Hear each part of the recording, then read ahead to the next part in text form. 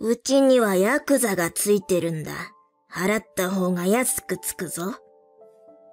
残業を手伝ってくれたお礼をしようと、後輩を誘って入ったお店が、運悪く、ぼったくりの居酒屋だった。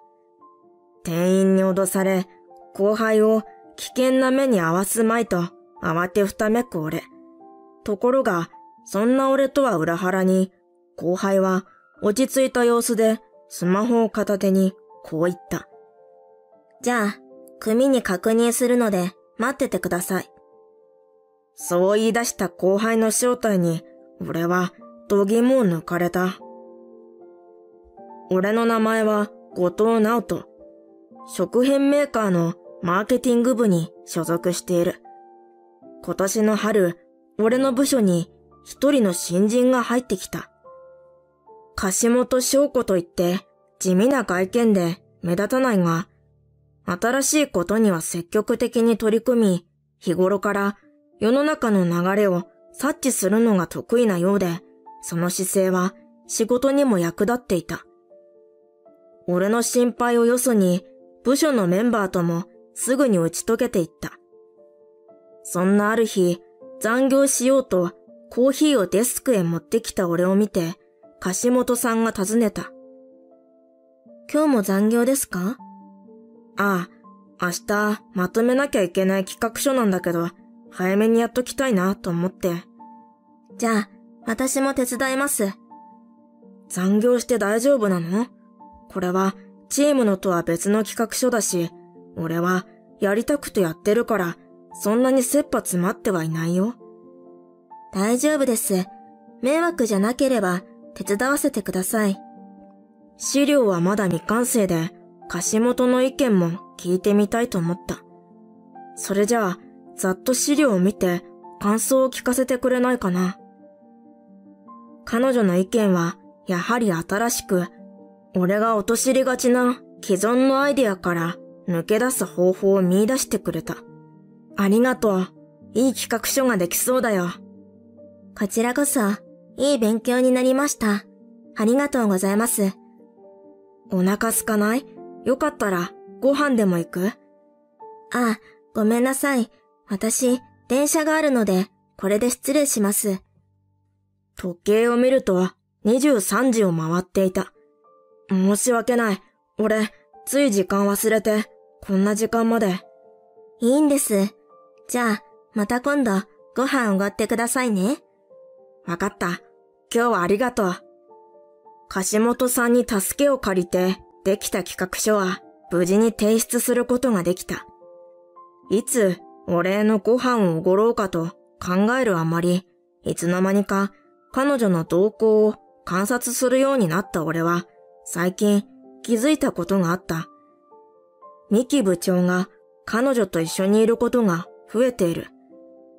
三木部長は俺よりも年上ではあるが、見た目は若くてイケメンだ。しかし、既婚者ながら女癖が悪いという噂があり、以前に三木部長にご飯に誘われて困っている女性社員からの相談を受けたことがあった。それだけじゃない。部署の飲み会後に女性社員をしつこく誘っているのを見かねて、俺が間に入ったこともあった。男女にはそういうこともあるのだろうと深くは詮索しなかったし、三木部長が若い女好きだということは周知のことで、それぞれが警戒すべきだとすら思っていた。しかし、柏本さんの場合は、なんだか割り切れない自分がいた。ある日の昼休み、同じエレベーターに乗り込もうとしている二人の元へ急ぎ、エレベーターのボタンを連打した。一度閉まったエレベーターが再び開くと、必要以上に至近距離の二人が立っていた。すみません、乗ります。すっと体を離した部長の視線が後頭部に刺さる気がした。捜査番前の彼女は身を固くしていた。あ、柏本さん、お疲れ様です。彼女は少し振り返り、目を合わせた。それと同時に、次の階のボタンをさりげなく押し、扉が開くと同時に、橋本さんの手を引いて、エレベーターを降りて、フロアを走った。後藤さん、早いです。夢中で走っていた俺は立ち止まり、慌てて彼女の手を離して謝った。ごめん、手掴んで。いえ、でも、どうして？橋本さんが部長になんかされてるような気がして、とっさに引き離そうと思った。違ってたらごめん。いいえ、助かりました。最近、部長の距離が近いな、とは思ってたんですけど、さっき、付き合っている人はいるの？とか聞かれて、正直、気持ち悪かったです。涙目で語る橋本さんの手が震えていた。密室で追い込むなんて最低だな。橋本さんも今後は二人きりにならないよう気をつけて。橋本さんを助けられてほっとするもつかの間。昼休みが終わって戻った部長から呼び出しを受けた。この資料、明日までにデータ化しておいて。中を確認すると、過去のマーケティング部の紙資料だった。資料のデータ化は派遣に頼むと、この間、部長がおっしゃってたじゃないですか。そんなの、できる人いるんだったら、早い方がいいんだよ。任せたよ。有無を言わさないといった感じで、部長室を追い出された。きっと、エレベーターの件に関する仕返しだ。今抱えている業務に影響が出ないよう残業をして、それをやり遂げた。終わったの？じゃあ、これもお願い。それ終わったら、まだあるから。そう言って、部長から資料のデータ化を頼まれるようになった。派遣はまだ手配されていないようだった。後藤さん、最近残業ばっかですけど、大丈夫ですか？ああ、資料のデータ化をね。そんなの、後藤さんがする仕事なんですか？私も手伝いますよ。派遣を手配してくれるまでの辛抱だよ。私、大学生の頃、派遣で働いてたことあるんです。データ化なら任せてください。そう言って、彼女は持っていたバッグを置いて、髪を結んだ。今日は早く帰りますよ。後藤さんにも私のやり方伝授します。彼女の伝授してくれたやり方によって今までの倍以上の速度でデータ化は終わった。本当にありがとう。これなら今後残業も少なくて済むよ。お役に立ててよかったです。元はといえば私のせいですよね。そう言って申し訳なさそうに目を伏せた。橋本さんは悪くないよ。そうだ、今日は早く終わったから、これからご飯行かない？はい、喜んで。やっとお礼ができると、張り切って、行きつけの居酒屋へ向かったが、あいにく、臨時休業中だった。ごめん、ここ行きたかったんだけど、休みみたいだ。そうですね。じゃあ、あそこは？橋本さんの指さした先には、同じような外観の居酒屋が見えた。良さそうだね。あそこに行こう。中へ入ると、まだオープンしたばかりのようで、内装は綺麗だった。しかし、客はあまりいないようだ。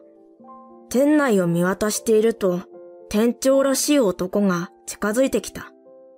いらっしゃいませ。お客様2名様ですか？座敷とカウンターどちらになさいますか？どうする？じゃあ、座敷でお願いします。個室の空間は周囲を気兼ねせず話ができて楽しい時間を過ごすことができた。今日はお礼だからおごらせて。いいんですか？ありがとうございます。店員を呼ぶと先ほどの男がやってきた。お会計、こちらになります。渡された明細を見て驚愕した。50万？頼んだものはレモンサワーと料理が3品ほどで、定食屋でも3000円ほどだろう。これ、桁間違ってますよね。50万っておかしいでしょ。お客さん、座敷入ってもうてるでしょここ、高くつくんですわ。先ほどとは違うエセ関西弁で話す店長は、にやけた顔で言った。うちのバッグには、混合組つ怖い人たちがついてるから、ここでおとなしく払った方が安くつくで。驚きのあまり声が出せなかった。これが噂のぼったくりってやつか。貸本さんを危険な目に合わせたくなかった。だけど、50万なんてすぐに用意はできない。払わないって言うんなら、今すぐ呼びますぜ。黙っている俺をせかすように店長が言った。あの、その偽物の関西弁やめてもらえます？キモいです。それまで黙っていた貸本さんが言った。普段とは雰囲気と違う口調に驚いて目を向ける。貸本さんは眉を潜めて店長を見ていた。はぁ、舐めとんのか？今すぐ混合組呼んだろか？男の罵倒をものともせず、貸本さんはスマホを手に取った。呼ぶって言うんなら確かめてみますね。はぁ、何言うてんのや？うるさいな大きな声出さないでよ。あ、もしもし？なんか、組の名前語ってるぼったくりがあるんだけど、どうする？うん。貸本さんがこの居酒屋の大体の住所を告げる。それを店長と俺は何とも言えず見守った。もうすぐ来るって。はあ？何言ってんだ？金でも持ってくるんかい？お嬢ちゃん。貸本さんはそれに答えず、さらにビールを二人分注文する。状況のわからない店長はもっと儲かると思ったのか、バックヤードへ取りに行った。今のうちに何とかしないと。大丈夫です。にっこりと微笑む貸本さんを不思議に思いながらも、言う通り数分間を過ごした。本当にどんな速さで到着するんだと驚くくらい早く到着したのは背が高くギラギラしたスーツを着た男性だった。お、あんた、誰だよ？パパ、早かったね。パパ？うちの組の名前使ってる言うんは、こちらさんいろんな色のスーツの人たちが次々入ってきて店長を囲んだ。ひえ、ごめんなさい。すいません。助けてください。店内奥の事務所へ逃げようとするが、中はもぬけの殻で、力が抜けたように店長は座り込んだ。事務所に仲間がいたのだろうか。じゃあ、あとはよろしく。私たち帰るね。店長は捕らえられ、車へと連行された。貸本さんは黙って俺の手を引き、外へ出ると、無言でずんずん歩いた。街を抜けて、川沿いの道まで出て立ち止まる。私、実は、混合組の組長の娘なんです。俺が尋ねるよりも先に、貸本さんが言う。前を向いたまま、振り返らない。え？でも、貸本って？母のせいなんです。周りにバレると大変だから。今までにも大変な思いをしてきたのだろう。貸本さんは小さくなって俺の言葉を待っているようだった。大丈夫。俺は誰にも言うつもりないし、今日は助けてくれてありがとう。怖くないんですか？ちょっと驚いてはいるけど、貸本さんは貸本さんでしょ？後藤さん、ありがとう。俺は震える彼女を見て思わず抱きしめた。言葉はなくても二人の気持ちが一つになった気がした。翌日、貸本さんはいつも通り出社し、働いていた。いつもの日常へ戻ったと思っていた矢先、貸本さんからメッセージが入った。もうすぐ私の担当していた仕事が一段落すると思います。皆さんへお話しする前に後藤さんには言っておきます。組長の娘だとバレた以上、会社や同僚の人たちに迷惑をかけたくないので退職します。俺は誰にも言ってないし、今もそんなこと気にしてないよ。父との約束なんです。一人でもバレたらそこを離れるって。その後、考え直すよう伝えたが、メッセージに既読はつかなかった。翌日、退職届はすでに提出されており、俺は彼女に会うことはできなかった。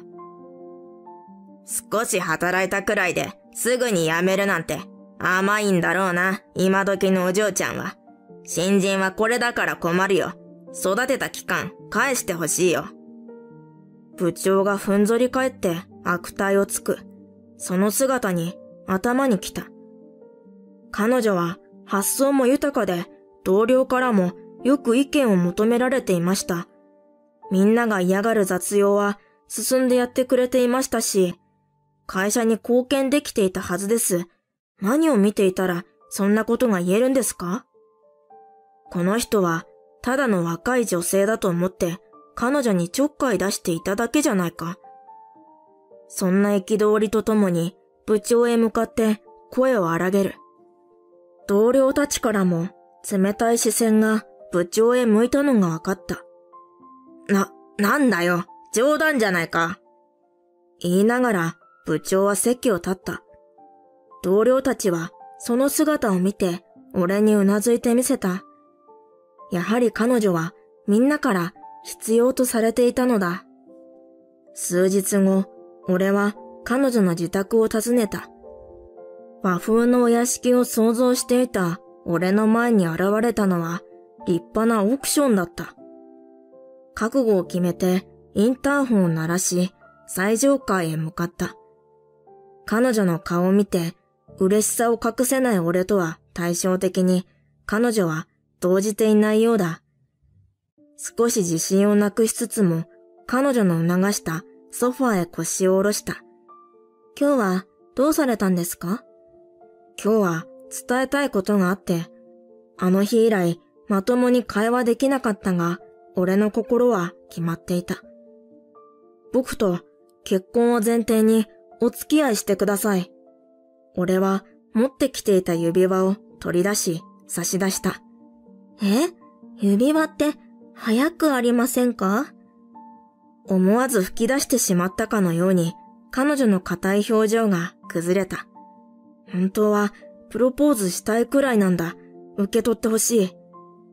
少しの間会えなかった分、彼女への俺の気持ちは大きくなっていた。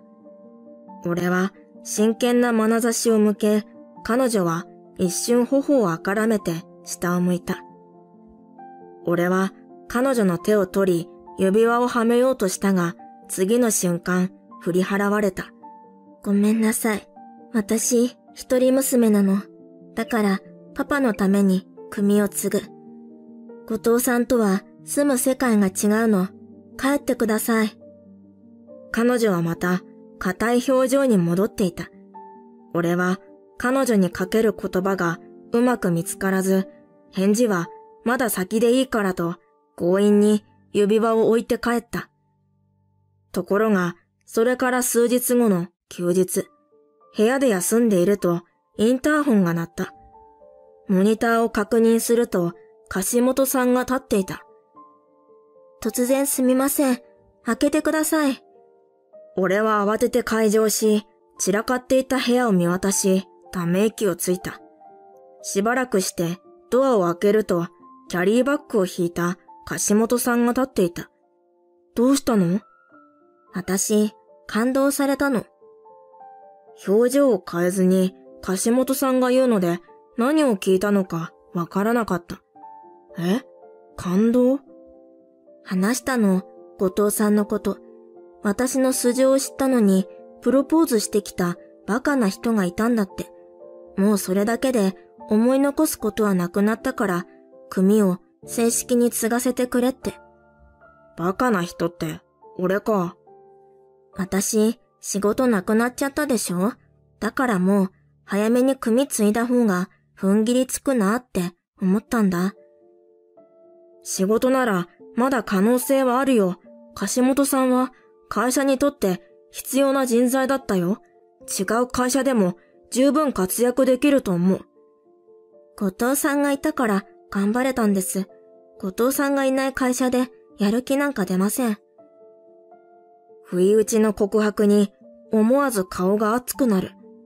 そう言ったらパパ、今日限りでお前とは縁を切るって。いきなりだよ。それで頭に来て家出てきちゃった。でも、それって、橋本さんに組を継がせないようにするためなんじゃ。それにしても、いきなり縁を切るって短歌切ったんだよ。許せない。あの貫禄のある人物を目の前にして腹を立てるとは、俺は思わず吹き出した。ちょっと、笑うとこありました？だって、橋本さん、根性あるなって。パパはいつでも私には甘いの。なのに、生意気。絶対許さない。まあまあ。俺は彼女をなだめて部屋へ荷物を運んだ。やりがいありそうな部屋だね。え？何の？掃除でしょ？洗濯でしょ？違う。いつもはもっとちゃんとしてるんだ。橋本さんに振られてから何もやる気が起こらなくて。言い訳ではなく、本当だった。会社では普段通りにしていても、家へ帰ると何もやる気が起こらない日々が続いていた。へえ。彼女は面白そうに俺の顔を覗き込んだ。何？彼女なんだから、翔子って呼んでください。彼女になってくれるの？はい、もちろんです。こうして俺たちは無事に付き合うようになり、それから彼女は実家には戻らなかった。一年が経過し、俺と翔子は今、彼女の父親の前に座っている。感動されたとはいえ、結婚の報告は必要だと彼女を無理やり連れてきたのだ。この度、翔子さんと結婚の約束をさせていただき、入籍前に挨拶に参りました。ああ、翔子が出て行ってから身辺調査はさせていたからね。二人の結婚もそろそろだと思っていたよ。こわ表の顔から父親の優しさが感じられ安堵する。パパ、縁を切るなんて言ったくせに調査してたの？信じられない。翔子はまだ父親に怒っているようだった。翔子さんが感動されたと聞いて、組長さんのご決断は翔子さんの将来を考えてのことだったと理解しております。感謝をお伝えしに、ここへ参りました。後藤くんはすべてお見通しだな。翔子、お前は俺の親心も知らずにさっさと出て行ってしまうとは寂しいじゃないか。大きな体からは想像できない小さな声でつぶやいた。一年間本当に寂しい思いをしたのだろう。以前より少しやつれているように見えた。自分で追い出しといて、そんな顔しないで。たまには遊びに来るわ。パパ、大好きよ。そう言って、翔子は無邪気に組長に抱きついた。お前たち、幸せになれよ。後藤くんが浮気でもしたらいつでも帰ってきなさい。縁起でもない。やめてよね。もう帰ってきません。遊びに来るだけ。帰りは組の人間が集まり、フロアに整列して並んだ姿は圧巻だった。彼女はこれを捨てて俺のところへ来てくれたのだ。帰り道、彼女に振り向き、言った。本当に俺のところに来てくれる？うん。一年前、あなたを訪ねた時から私の心は決まってたわ。二人で幸せになろうな。これから先、どんなことも二人なら乗り越えていける。そんな気がしていた。翔子がいつまでも笑顔でいられるように、二人で歩んでいきたいと思っている。